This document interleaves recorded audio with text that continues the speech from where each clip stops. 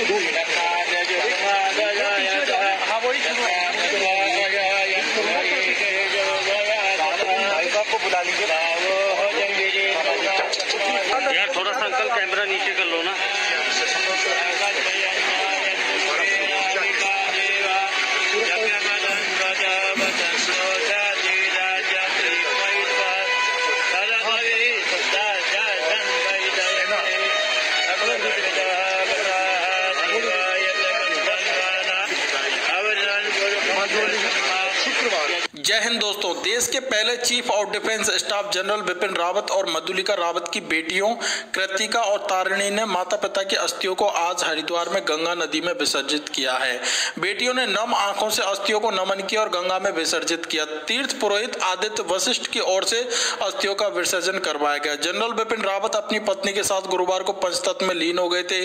राजकीय सम्मान के साथ दिल्ली कैंट में जनरल रावत और उनकी पत्नी मधुलिका का अंतिम संस्कार किया गया था। इस दौरान सेना की ओर से अंतिम सलामी दी गई। यहाँ पर सैन्य सम्मान और विधि विधान के साथ जनरल बिपिन रावत और मधुलिका रावत की अस्थियाँ गंगा में विसर्जित की गई हैं। मुख्यमंत्री पुष्कर सिंह धामी ने वीआईपी घाट पहुंचकर सीडीएस रावत की दोनों बेटियों से मुलाकात की और फिर रवाना हो गए। तो दोस्तों, बस यही कहूँगा कि यह एक महान हस्ती थी। इस महान हस्ती को देश